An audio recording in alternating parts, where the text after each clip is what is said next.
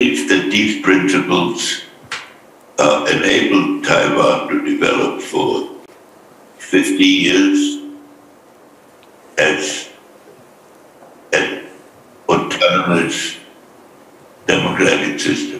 前美国国务卿季辛吉也是中美建交重要推手，视讯参与齐聚商业领袖的达沃斯世界经济论坛。被问到拜登说会军事协防台湾，季辛吉强调中美应尊重合作原则。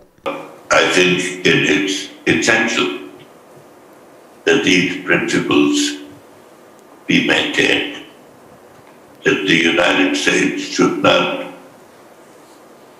by subterfuge or by a gradual process, develop something of a two-China solution. 点名台湾不能成为中美谈判的核心，与会的共和党议员支持适度恐吓中共，但认为派兵恐怕面临现实因素。 And I think deterrence is the key here. That uh, President Xi, is, as he looks at what's happening in Ukraine, uh, is it worth it? And we have to persuade him that it's not. Um, but I don't know how many Americans would want to go to war over a tiny island they know nothing about. We had to educate them on Ukraine. Why is Ukraine so important?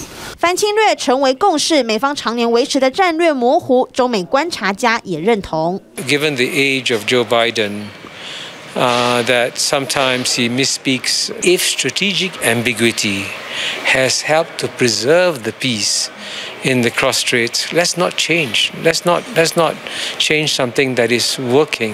拜登一句话让两岸纠葛在国际间发酵。TVB 新闻李明辉、刘婷婷，瑞士达沃斯采访报道。